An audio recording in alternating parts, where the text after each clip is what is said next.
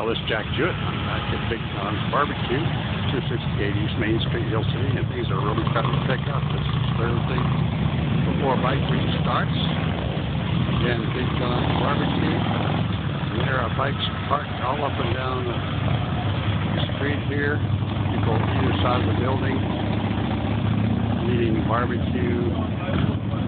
And I'm going to whip around here so traffic's really starting to build up, stack up. Got motorcycles all up and down the curb here. Big John's Barbecue.